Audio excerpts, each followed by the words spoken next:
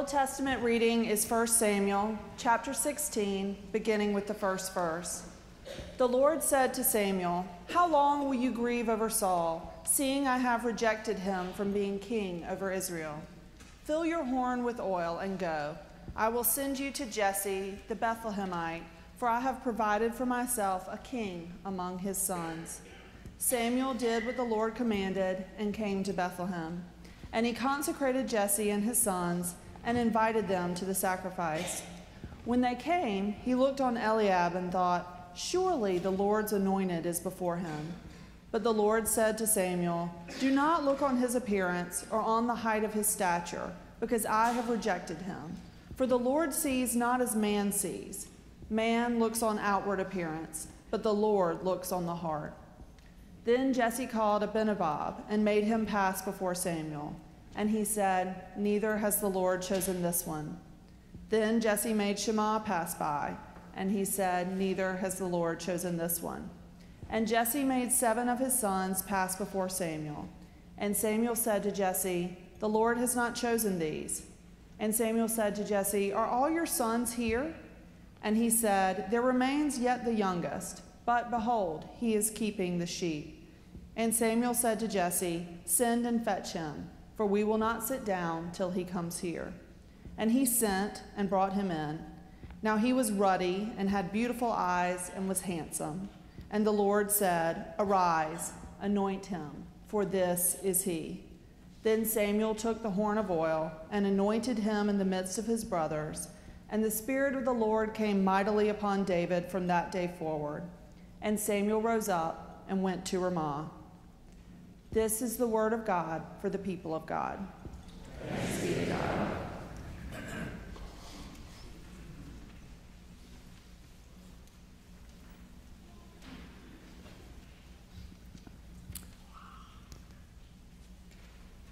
The Lord does not see as we see. We look on the outward appearance, the Lord looks on the heart. This great wisdom comes from a dramatic moment in Israel's history when God speaks to Samuel, tells him to go to Bethlehem. That sounds like neither here nor there to you and me, or it maybe sounds like a happy place. Bethlehem, that's where Christmas happened, right? But in those days, that was a dangerous junket for Samuel indeed. It's dangerous today, hard to get to Bethlehem. If you start in Jerusalem, even though Bethlehem is just a few miles away, it takes a long time. You have to pass through all kinds of checkpoints. There's barbed wire. There's a massive wall. You may have heard about this wall. It is at its largest around Bethlehem. Tremendous tension there between Palestinians and Israelis. One of the cool things about that wall is there's graffiti all over it, very clever graffiti. And what's interesting about the graffiti is none of it's hateful or angry. It's all like peace protesters, right? Instead of saying, we hate you on the other side, the graffiti has themes of life and hope and peace. My favorite piece of the graffiti is somebody drew there depicting God's tree of life, and the roots of God's tree of life grow underground and finally actually grow under the wall. And they begin to expand and expand. It actually breaks up the wall from beneath, and the wall is shattered. And There's peace in Israel. It's beautiful.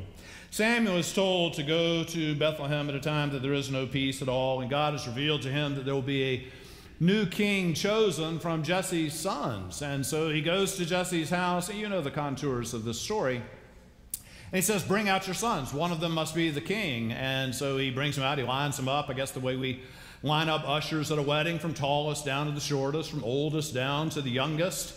And the first, there's seven of them, and the first is Eliab, and Eliab is tall and strapping and muscular, and he's a military veteran. He's the kind of person, like he's a number one draft pick. We'd take Eliab every time. He's the kind of guy that we want to lead us. But there's this pause, and then God says, He's not the one. The Lord does not see as we see. We look on the outward appearance, the Lord looks on the heart. So he goes to the next tallest, Abinadab, not him either, goes to Shammah, not him, goes through four more brothers. And then there's another long pause, and Samuel looks at Jesse and says, Is, Do you have any others? and Jesse says, Well, uh, there is David uh, left out in the field tending the sheep. And Samuel says, Bring him in right away. He comes in, David is the one. It's a theme that occurs over and over in the Bible in so many ways. God doesn't choose the obvious one that we would choose, God chooses the one that's overlooked. God chooses the one we didn't think of. God chooses the small. It's such a beautiful thing. God uses small things. God works in hidden ways. You know this in your own life. The most important things that are going on about you right now are not anything that anybody can see. What's keeping you alive is hidden from everybody else, including yourself. It's your heart beating inside your chest. It's your lungs respirating in there. That's why you're alive. Why does a tree live? A tree doesn't live because the leaves are really trying hard to live out there. No, it's the roots that are under the ground. It's what is hidden that is the source of life. It's always that way with God. God uses the small, God uses the unlikely. I was in uh, Florence, South Carolina the other day giving a talk, and at the end of it we had a Q&A, and it was an interesting conversation, the most interesting point being when a gentleman he appeared to be perhaps in his 80s. He raised his hand, and I called on him, and he asked, Why did God make me? Hmm. I said, uh, Why do you ask? He said, I've lived all these years, and I've really never discovered what God's purpose for me might be. It's interesting. As we talked about, it turned out he fell for what a lot of us fall for, is we think that God's purpose must be something huge. I actually heard a preacher saying that a while back. If it's not large, it's not of God. God has God sized dreams. All this, like, America's so into big, right? It's like we're all Texans or something. Somebody here's from Texas. I'm going to be in trouble later. I'm sorry. You know, so we have, we're obsessed with what's big and successful and, num- you know what I'm saying? And sometimes it could just be something small. I said to him, you know, if you're a guy like me, and I bet you are, that what you need is sometimes just like one person to love you and care about you, and ask about you, just one.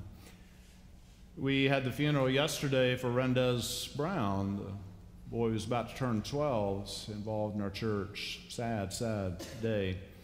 And what's so touching is the number of people in our church over time who've done just one small thing. They've read to Rendez, they've played baseball with Rendez.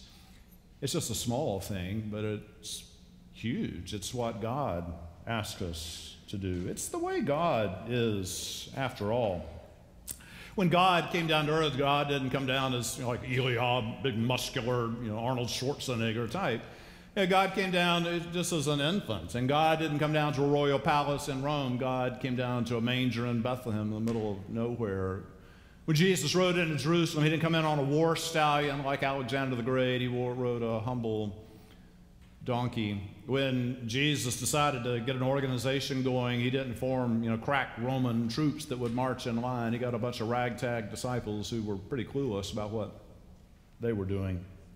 It's God's way.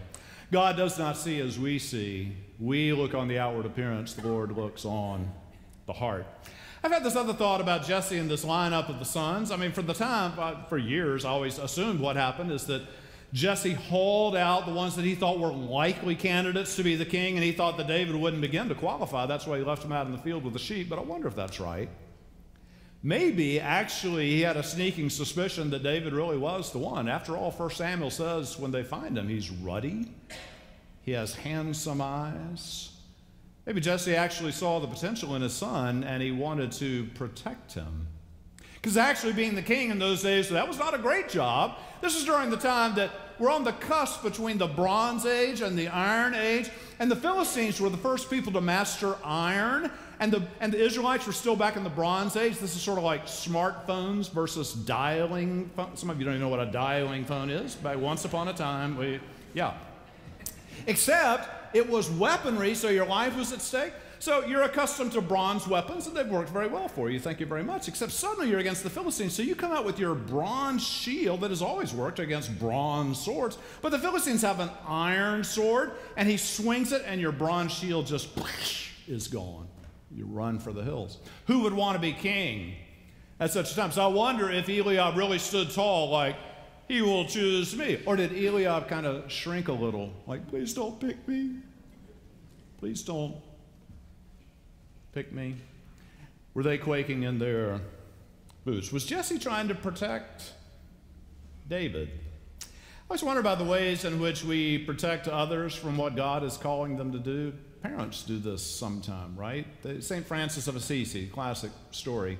God was calling Francis to be really the greatest saint of the Middle Ages, but his father had a better idea, wanted to protect him from such a fate. He wanted to be a wealthy cloth merchant like he was.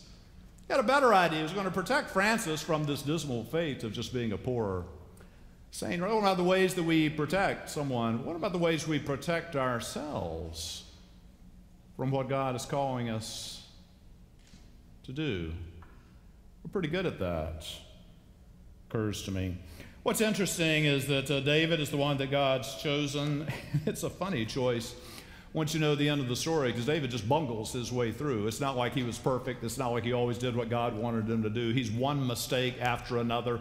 But that's the cool thing about God's call is that God doesn't, for God to use you, you don't have to be perfect, thank goodness. Right? None of us could make it. God can use people that, that bungle things and bumble their way through. I read something recently about Winston Churchill that England really needed him in World War II, but that actually, in terms of his decision making day by day during World War II, Churchill made many, many mistakes.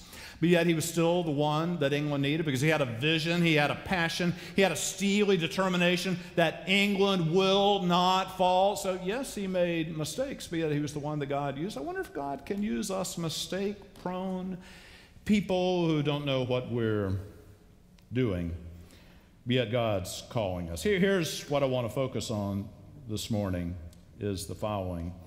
Uh, Martin Luther one time was thinking about this business. The, the Lord sees not as we see. We look on the outward appearance, the Lord looks on the heart. And what Luther said was this He said, The eyes are hard of hearing. You have to think about that. Take that home with you the eyes are hard of hearing. Like what happens with our eyes is, is, our eyes just aren't so good. They get fooled all the time. Uh, they get impressed by things they shouldn't be impressed by. They get disappointed by things they shouldn't be disappointed by. The eyes are hard of hearing. The eyes get fooled. Uh, this happens in relationships. Samuel has a kind of selective vision, doesn't he? He only sees what he wants to see. He doesn't see what's plain in front of him. His eyes deceive him. His eyes are hard of hearing. Uh, one of the cool things I think in our emotionally healthy spirituality is when Peter Scazzero was here back in January, one of the things he said happens in relationships is that uh, we all attempt something that we're absolutely no good at, and that is mind reading. Mind, you probably do it uh, with friends and at work at various times. You know, someone's saying something and you, you read their mind and you think, oh, he must mean, and you're wrong every time, right? You saw something happens and you think, oh, that must be, and you're just, you're wrong every time. It's really deadly in marriages, right? People marry each other and I shall read her mind. And you're so bad at it. You know, like, surely she was thinking this. Yeah, that never crossed her mind. We're terrible at it. And, and what Scazzero says, instead of like trying mind reading, which you're no good at, you might actually try, here's a novel idea, listening. Like, who thought of such a thing? Listening. Early in my marriage, I can just confess to you, and Lisa's not here, I can talk about her right now. She's gone home for the day. Uh, early in our marriage, I was just the worst husband. You know, I'd sit down and she would, she'd be trying to pour out her heart to me. And she would say something like, remember one time she said, I feel like I don't have any friends. And I said, No, no, no, you have many friends. And then she told me something else she felt. And I said, No, no, no, you don't feel, no, no. I kept correcting. This is like the most pathetic husband ever. Doing such a thing. And what I've learned over time is now, if she says to me, I feel like I don't have any friends, I've learned to say, Oh.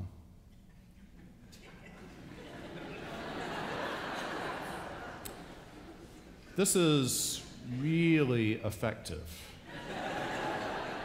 I have found. And that's silliness. What I want us to think about is how, with respect to God, to say, oh, we're not good listeners. We don't listen to each other very well. We don't listen to our own lives very well. We don't listen to God very well. And I would suggest to you the most important thing in life is learning how to listen to people and to God. And it's what we're no good at. Isn't that interesting? So I've been trying to think how to be a listener, how not to focus on the eyes that are hard of hearing, but how might I hear? So, so I, a friend of mine referred me this week to a guy who was part of the French resistance during World War II. His name was Jacques Lusseyran. I can't pronounce French worth a darn, but it's great fun to try, right? Jacques Lusseyran. That's fun to say. And Jacques Lusseyran, he's an interesting guy. He was part of the French resistance. He wound up in the concentration camp, Buchenwald. Uh, but when he was eight years old, he, he could see, but then there was this accident at school one day and he lost all of his vision in one day. It's amazing. So he went from being a sighted person to being a blind person. But his parents never pitied him, and he learned Braille, and he became a war hero, and then had a great career afterwards. And he died in the 70s, and he wrote about it. And I read, I read his autobiography this week. It's just a remarkable book. And the most amazing parts are when he talks about being blind, right? I mean, you think of someone blind, you might think, oh, how sad, how hard that must be, how to be pitied, someone who is blind. But here, here are just some things that Jacques Lusseyran wrote about being blind. Since becoming blind, I've paid more attention to thousands of things. Since the day I became blind, I have never been unhappy. Since the day I became blind, I've begun to look more closely, not at things, but at a closer world, looking from an inner place to one further within.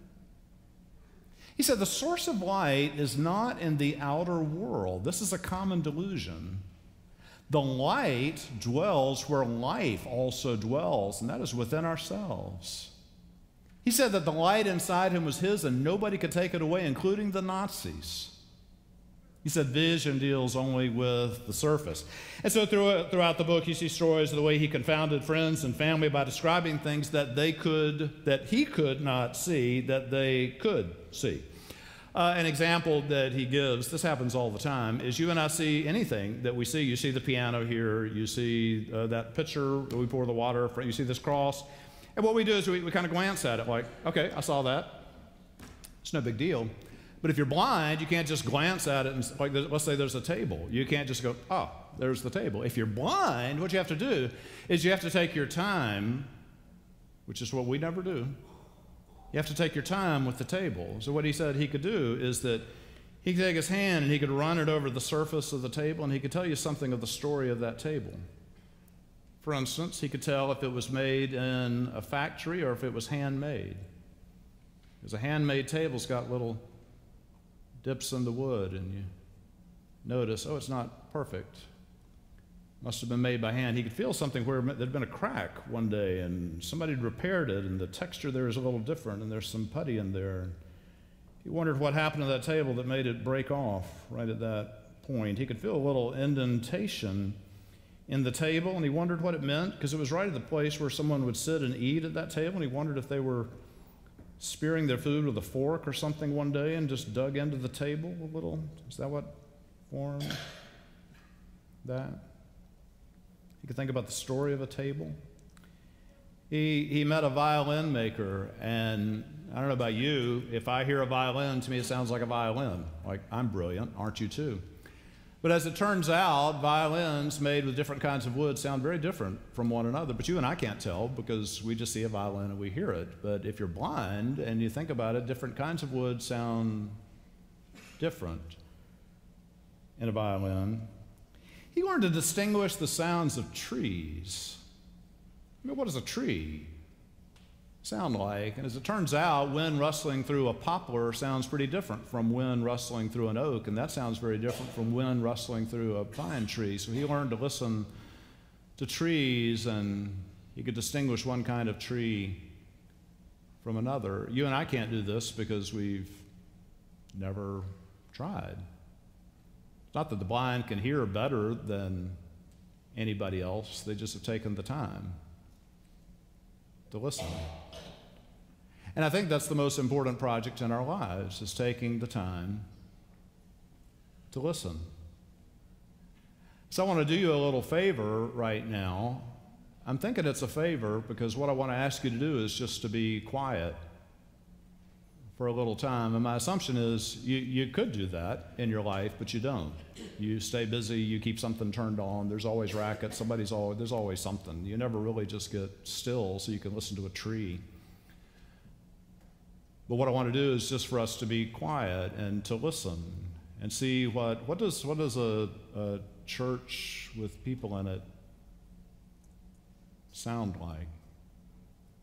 Can we listen? Can we maybe hear ourselves or the slight rustle of somebody next to us? Or can we even hear God?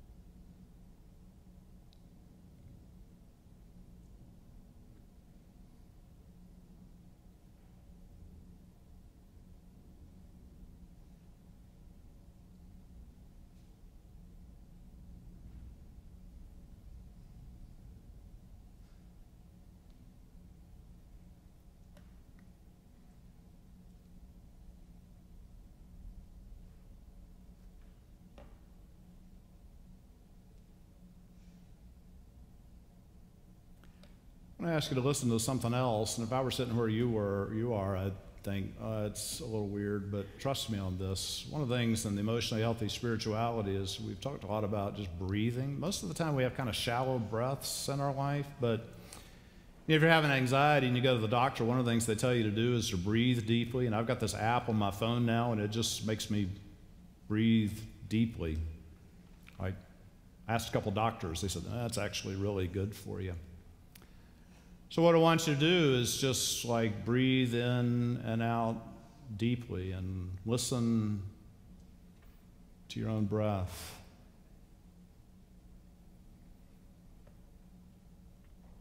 I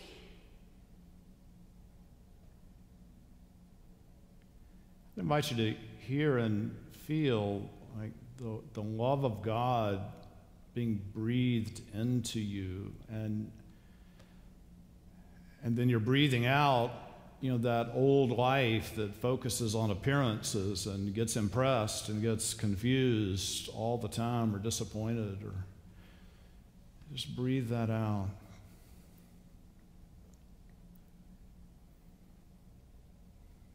It's the breath God gave you, gives you, gives the people around you.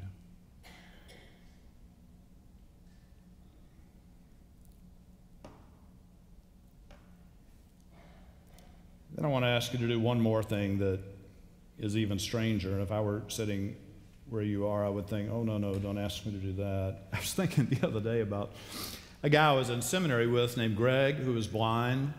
I saw this happen to him all the time. People would walk up to him and they would say, Hi, Greg! he would say, I'm blind, I am not deaf. One of the things he told me is something that Jacques Lusseyran wrote about is that if you're blind, one of the things you inevitably do is you, you just come in physical contact with people more than the rest of us. You're walking somewhere, you got to take somebody's arm. You're going on steps, you got to take somebody's hand.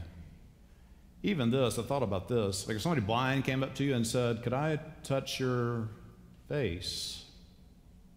Right? That'd be like a really cool. Um, if a sighted person came up and said, Can I touch your face? You'd be like, Oh, weird. So, blind people, that physical contact, Jacques Lusseyran wrote about this. He said, I can thank my blindness for having forced me into bodily contact with my fellow human beings. He says, I have found this to be an exchange of strength and joy. So I want to ask you to do what we don't usually do here at the church, and if you don't want to do it, you don't have to do it. And if you want to do it and the person next to you doesn't want to do it, that's okay too.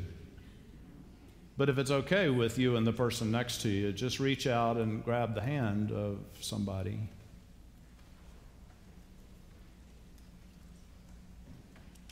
And we're just going to hang on to each other for a minute, and I'm going to ask you to uh, bow your heads and pray with me.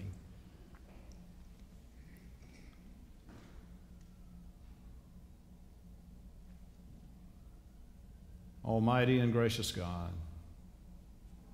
we need you. And it's really it's as, ur- as urgent as something like a siren going by. We really need you. We need each other. We need the love in this room. We need to learn to do the only thing that really matters at the end of the day, and that's how to hear each other and how to hear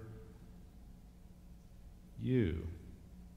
We all week long, Lord, we have used our eyes. We've been impressed by what we've seen, or, or we've been disappointed in what we've seen, or we've been def- confused by what we've seen.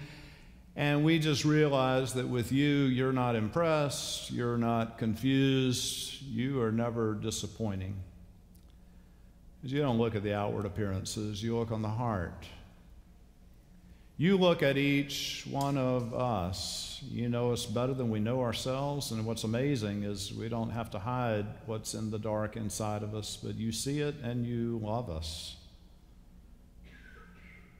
And you love the person next to us. You love the person that gets on our nerves. And you love the person we think's the problem with the world. You're amazing, Lord, and we're grateful.